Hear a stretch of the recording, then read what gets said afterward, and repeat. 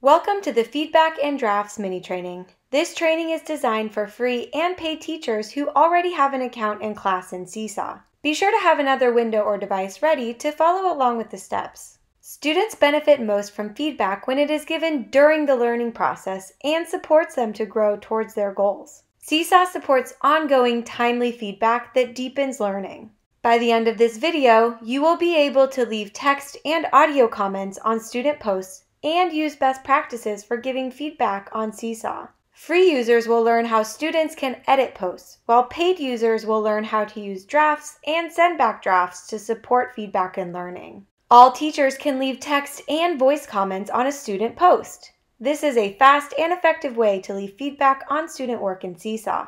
On a post, click the comment button. It looks like this. You can find it here. Teachers can type a comment or click the microphone button to record an audio comment. This is particularly helpful for young or English language learners. When a teacher leaves a comment, it shows on the post. Students can also comment on each other's posts, giving students an authentic audience for their work and valuable feedback from their peers. You can enable or disable this setting in class settings. When students receive a comment on one of their posts, they see a notification in their Inbox tab.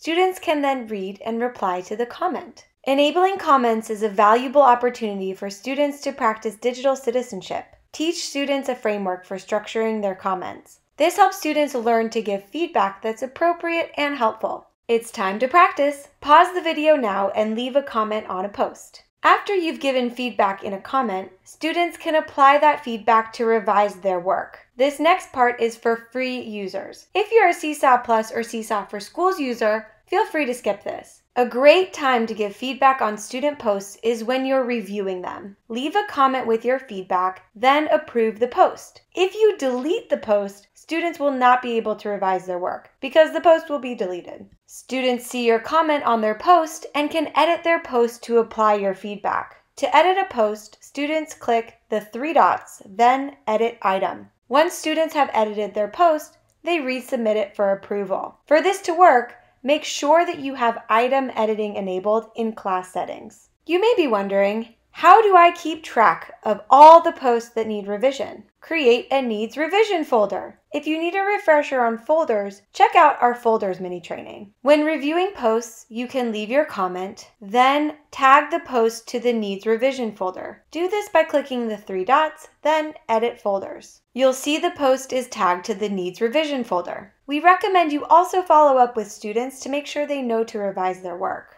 Periodically, you can view all work tagged to the Needs Revision folder to make sure students have received and applied your feedback. In the Journal tab, click on Class Journal, then click on the folder icon that appears. Choose the Needs Revision folder to see all work tagged to that folder. Once a post has been revised, you can remove it from the Needs Revision folder by clicking the three dots, then Edit Folders, and deselecting Needs Revision. It's your turn. Pause now, enable item editing, and create a needs revision folder. We just showed you how free teachers leverage comments and item editing to give feedback. The next two parts are for paid users. Free users can feel free to skip these steps or continue watching to learn about our premium features. Seesaw Plus and Seesaw for Schools users have access to Send Back Draft, which was created to support ongoing feedback loops. The Send Back button looks like this.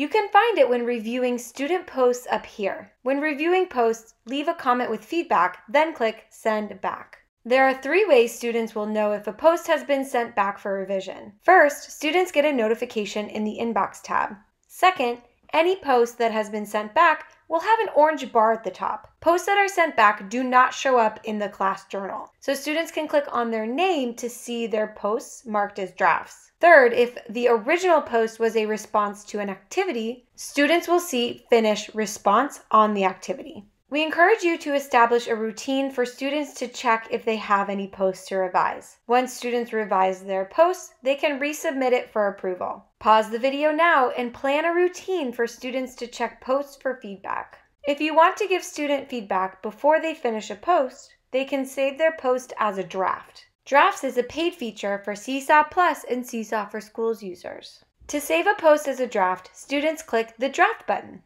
It looks like this. Students can find it up here next to the green check. Clicking Draft saves the post as a draft. Drafts are not posted to the class journal. As a teacher, you can view students' drafts in two ways. First, you can click on any student's name to see if any of their posts are drafts. Drafts have an orange bar on top. For responses to activities, click on the gray bar to access your grid view. If a post has been saved as a draft, you'll see an orange draft bar above the student's name. Click on the post to view it, then leave a text or voice comment with feedback. Students can then apply your feedback as they finish their posts. Pause the video now and plan how you might integrate time for feedback and revision into your next lesson. Thanks for learning with us today. We love showing you all that's possible with Seesaw. See you again soon here at Seesaw.